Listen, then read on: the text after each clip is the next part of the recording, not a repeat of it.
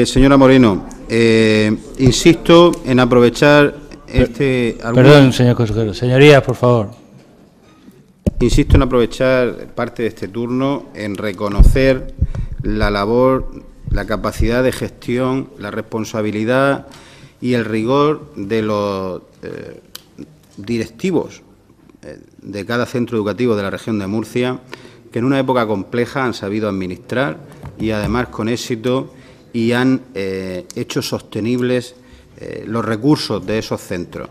Nosotros, efectivamente, como decía, a 31 del 12 de 2012 no había seis, me he equivocado, había 16 millones de euros en las cuentas de centros públicos de la región de Murcia.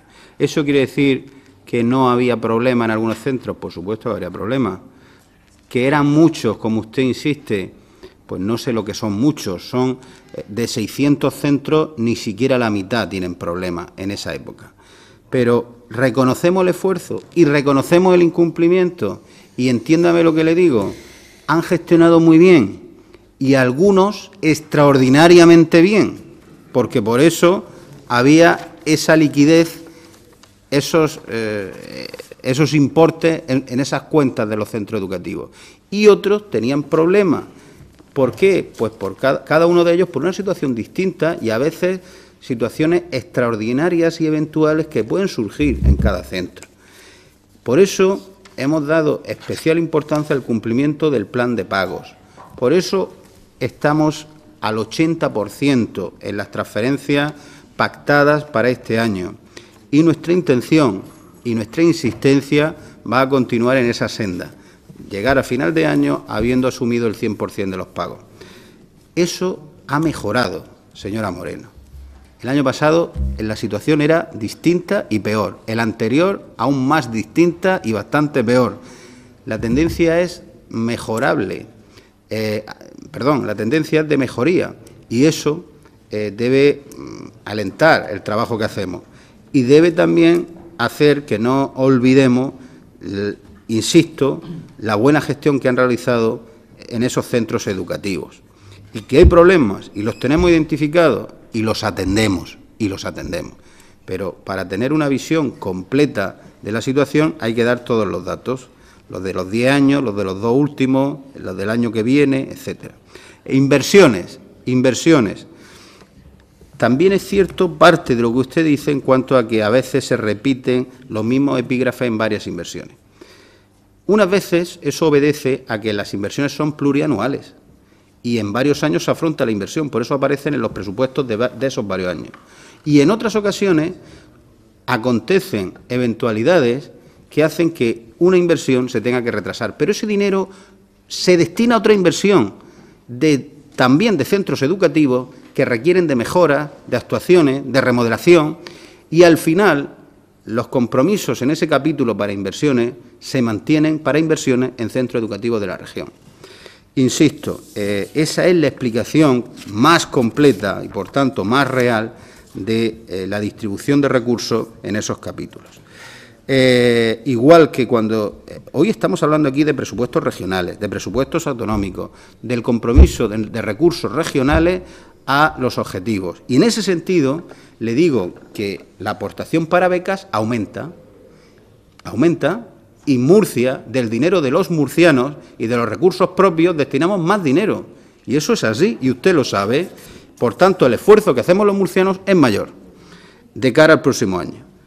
No hable de recortes, hable de reorganización, de priorización, de sostenibilidad, de gestión, porque somos capaces de presentar hoy unos presupuestos como estos y además estamos dispuestos a cumplirlos.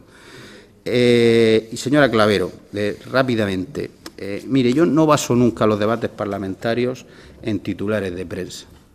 Creo que esta es una oportunidad que se pierde si empobrecemos el debate parlamentario y lo reducimos a una guerra de titulares con todos mis respetos, pero creo que el parlamentarismo es algo con muchas mayores eh, posibilidades de dialéctica como para reducirlo a un titular de prensa. Si ese es su argumento, insisto, lo respeto, no es una quimera respetarlo, lo respeto, la escucho, no coincido, pero en ese sentido eh, creo que pagar la deuda nunca es una gracia, sino un compromiso, pero ¿qué nos distingue de otros? Que nosotros cumplimos los compromisos y otros deben 80, 800 millones de euros por no cumplir esos compromisos. Eso también nos distingue. Y, señor Pujante, eh, para intentar ser rápido y, facilitar, agradecerle que haya estado aquí hasta el final de, esta comparecencia, porque entiendo el esfuerzo que hace. Eh, y yo voy a ser extraordinariamente breve.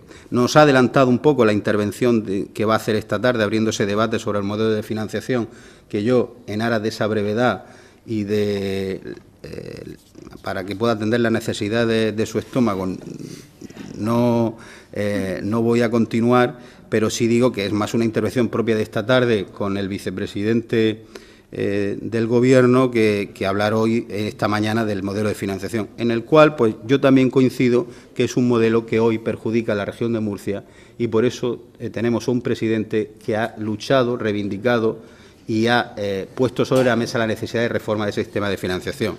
En aras para que sea más equitativo, justo y solidario con la región de Murcia. Y en cuanto a la propuesta de interino, la espero con el máximo interés, de verdad, con el máximo interés. El sistema actual tiene dos ejes, mérito y capacidad. Dos, dos ejes en los que coincidimos. ¿Se puede mejorar? Escucho sus propuestas, ojalá eh, nos ayuden a seguir avanzando en esa mejora sobre esos dos ejes. Y al Grupo Popular, pues insistir en mi agradecimiento eh, nuestro compromiso y el de todo este equipo para no defraudar, como decía antes, eh, las bases que sustentan este Gobierno y que el Grupo representa y seguir impulsando cada día, si cabe, con más, eh, con más ilusión y con más arrojo los cambios que esta sociedad necesita y que espera de nosotros. A todos muchas gracias por su trabajo, por su atención, por sus aportaciones y por sus críticas, porque la diferencia también eh, muchas veces es positiva y nos enriquece. Gracias.